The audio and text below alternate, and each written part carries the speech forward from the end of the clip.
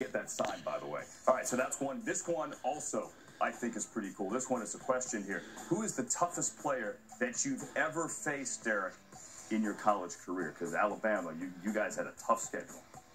Well, I don't. There's been a lot of good players. And a player that probably really stood out to me this year is probably Jarrad Davis from uh, University of Florida. Mm-hmm. A great uh, plays linebacker, pretty decent player, makes a lot of plays, very distinctive, and just plays fast. And is a playmaker. Scouting report? I thought you might go Keanu Neal because it was what two years ago the safety from Florida. You guys had a Oh, big, yeah, you yeah, guys yeah, had a yeah, big yeah, time yeah, collision. Yeah, he's a great player too.